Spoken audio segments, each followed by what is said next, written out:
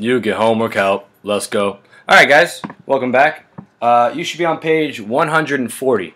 Um, some more work with adding, subtracting fractions. Let's do it. talk through these problems as a class and write your answers below. Actually, you're going to talk through this problem with me, right here with you. Here we go. Compare. draw two different models to show two-thirds minus one-third. Um, okay, no problem. Both the models are going to be pretty similar, uh, but uh, they're still going to show the same thing. One way to do it is with a number line type model, and uh, I would put uh, 0 at the end, and then I would put one-third, and then I would put two-thirds, and then that's really all you need because they're asking us to work with two-thirds. So I put a two-thirds right there and it says minus 1. So I start there and I go minus 1, minus 1 equals one-third. Two-thirds minus one-third equals one-third. Now I've got this, uh, this other model I'm going to draw. How about a circle with uh, three different uh, pieces to it? No, no, no, I don't want that to move. I want the circle to move. Thank you. So here we go. Uh, the way I do thirds is I draw a triangle to about the middle, bring it up, and then draw like the letter Y, kind of. See? Anyway, so we've got two thirds gets shaded in. Shading it in, really ugly. Sorry.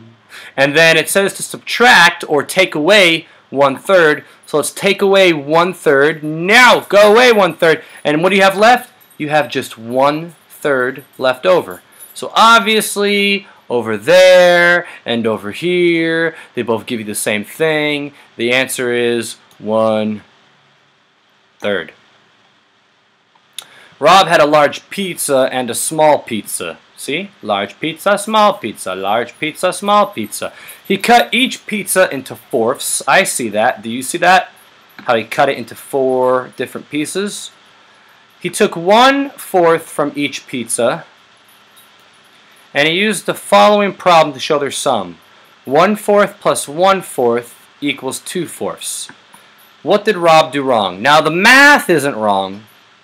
1 fourth plus 1 fourth is 2 fourths. So let's start with that. Let's say the math isn't wrong.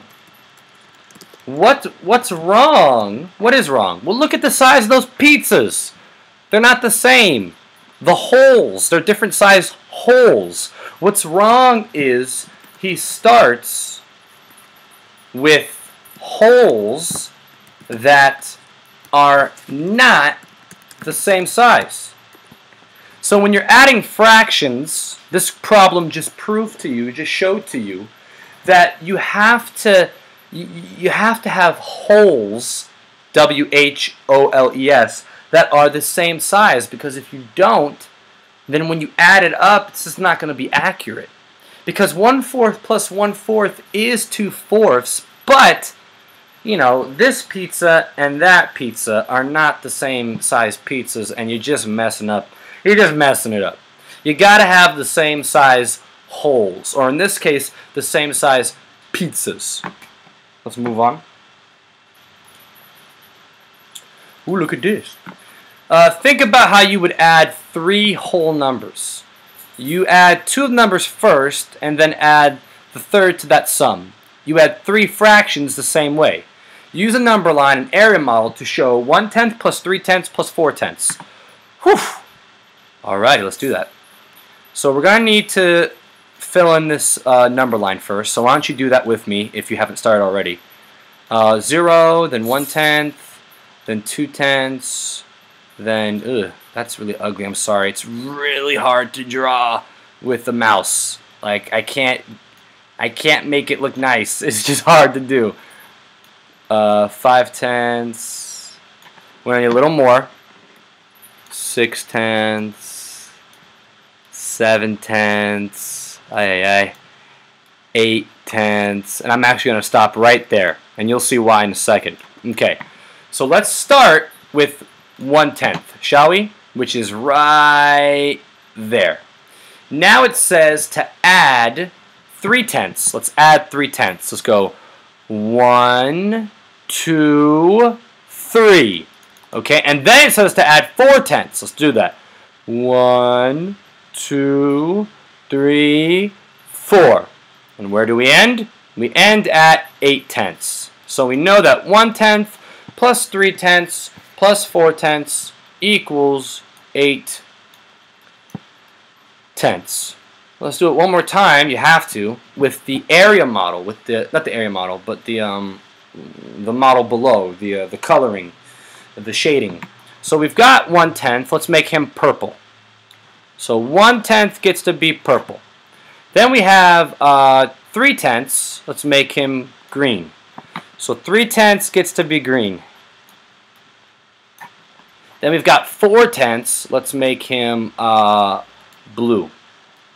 So 4 tenths gets to be blue. One, two, three, four. Adding all those tenths together, how many tenths are there?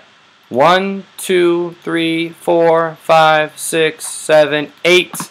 Once again, the answer equals 8 tenths, as it should, as it should. Please remember that the top numbers are being added. But the bottom number, the denominator, is remaining the same. It's still 10 on the bottom the whole time. Alright guys, that's all the homework we have for tonight. Pretty simple, pretty simple. Uh, you're going to get some, some more work uh, over winter break as well that has to do with adding and subtracting fractions. So laying this groundwork is extremely, extremely important.